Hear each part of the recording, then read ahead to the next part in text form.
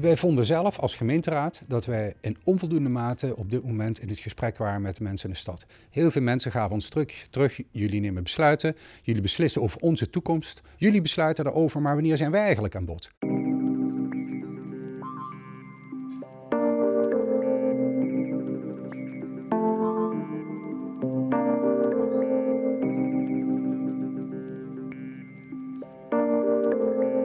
Voelt dat de representatieve functie van een gemeenteraad dat die echt kleiner aan het worden is. Dat zie je ook heel concreet als er verkiezingen zijn. Minder dan de helft van de mensen in deze stad is gaan stemmen toen het ging over een gemeenteraad. En dus zijn we aan het zoeken naar manieren hoe kunnen we nou die, die, die link met de mensen in onze stad, hoe kunnen we die nou versterken? Hoe kunnen we mensen meer betrekken bij de besluitvorming? Hoe kunnen we sommige besluiten misschien zelfs ook wat meer in de stad leggen dan we tot nu toe hebben gedaan? Wat onze werkwijze op dit moment is, is dat we uh, twee dinsdagen per maand vergaderen. Uh, en die vergaderavonden bestaan uit drie delen. Het eerste deel is wat we noemen een stadsronde. Dat is gesprek met mensen in de stad, maar soms ook gewoon voorlichting aan raadsleden van ambtenaren. In de stadsronde is de burger altijd welkom. Niet zoals in andere rondes alleen om te luisteren, want dat kan altijd, maar juist ook om een inbreng te hebben. Dat is dus eigenlijk de burger die kan aanschuiven bij de raad. Je hebt de kans in die stadsronde een zaadje als het ware te planten. En een aantal weken later, of maanden later, hangt van het onderwerp af, in het raadstuk echt te zien dat jouw punt is meegenomen. Het tweede deel is een raadsronde. En daar gaan de raadsleden met elkaar het politieke gesprek aan. Het verschil van standpunten over onderwerpen. In de raadsronde bereiden de raadsleden hun besluiten voor. Die ze gezamenlijk nemen in een plenaire deel later op de avond.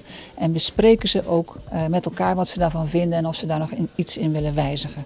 En dat is dus ook wel toegankelijk voor burgers, maar ze praten niet mee. Het allerlaatste deel is een raadsvergadering. Dat is vooral een stemronde op basis van het politieke debat dat eerder heeft plaatsgevonden. Dus dan worden echt de besluiten genomen over beleidsvoorstellen bijvoorbeeld. Het doel van deze manier van werken is om zoveel mogelijk input te hebben, zowel van het college als vanuit de stad, om te komen tot een goed besluit.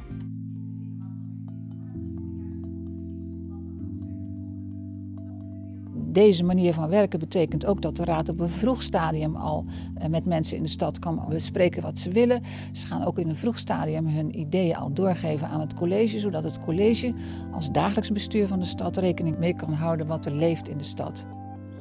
Je hebt dus de kans om als echt thema's dicht bij je zijn en waarbij je echt een eigen bijdrage kunt leveren aan de oplossing van iets, ja, dat je daar ook gedurende die periode actief bij betrokken kunt zijn. Wat heel erg leuk is, is dat er veel meer dynamiek is ontstaan. Er worden hier allerlei vergaderingen tegelijkertijd georganiseerd. Er lopen allemaal mensen door elkaar heen en je weet niet precies, is dat nou een ambtenaar of is het een wethouder of is het een raadslid of is het gewoon iemand uit de praktijk. Het lijkt altijd een hele grijze, amorfe massa. En nu ga je ineens zien dat je van begin af aan gewoon door speldenprikjes, door suggesties, door ideeën gewoon mee kunt doen aan het proces. En dat steeds weer een beetje meegenomen kan worden. En dat je steeds weer in de bel kunt trekken als er onvoldoende in zit. Dus wat je moet doen is echt naar de website van de gemeente Maastricht gaan, kijken naar de agenda van de raad. Daar staat altijd een uitleg bij en je kunt bij het onderwerp zien van kan ik hier nou meepraten of niet? Moet ik me daarvoor aanmelden of niet? Of kan ik gewoon uh, uh, aankomen zetten? We eten samen, dus je kunt aanschuiven aan tafel bij een raadslid als je een vraag hebt. Er zijn fractiekamers waar je op kunt kloppen. Je kunt bij de VVD langs, bij de PvdA of bij het CDA. Het maakt allemaal niet uit. Dus het is veel opener en transparanter geworden. En ik nodig ook echt iedereen uit om gewoon eens een keer een kijkje te komen nemen